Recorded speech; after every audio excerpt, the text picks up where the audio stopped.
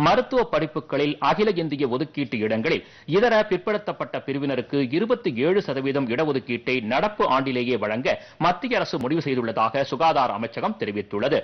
தமிழகத்தில் மருத்துவம் மற்றும் பல் மருத்துவ படிப்புகளில் அகில இந்திய ஒதுக்கீட்டு இடங்களில் இதர பிற்படுத்தப்பட்ட வகுப்பினருக்கு இடஒதுக்கீடு வழங்கக் கோரி பல்வேறு அரசியல் கட்சிகள் கோரிக்கை விடுத்து வந்தன.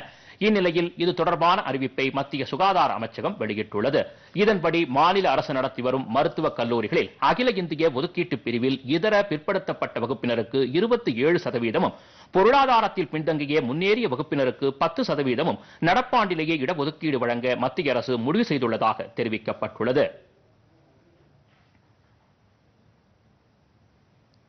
மருத்துவம் இளங்கலை மருத்துவம் முதுநிலை மருத்துவம் இளநிலை பல் மருத்துவம் முதுநிலை பல் மருத்துவம் உள்ளிட்ட படிப்புகளில் இந்த இடஒதுக்கீடு வழங்க முடிவு செய்யப்பட்டுள்ளதாக சுகாதார அமைச்சகம் கூறியுள்ளது.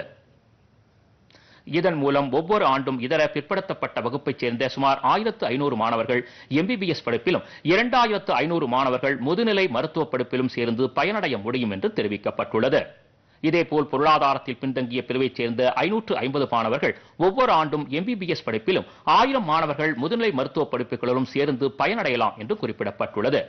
இந்த தகவலை மத்திய சுகாதாரத்துறை அமைச்சர் மன்சுக் மாண்டவியா ட்விட்டரில் பதிவிட்டுள்ளார்.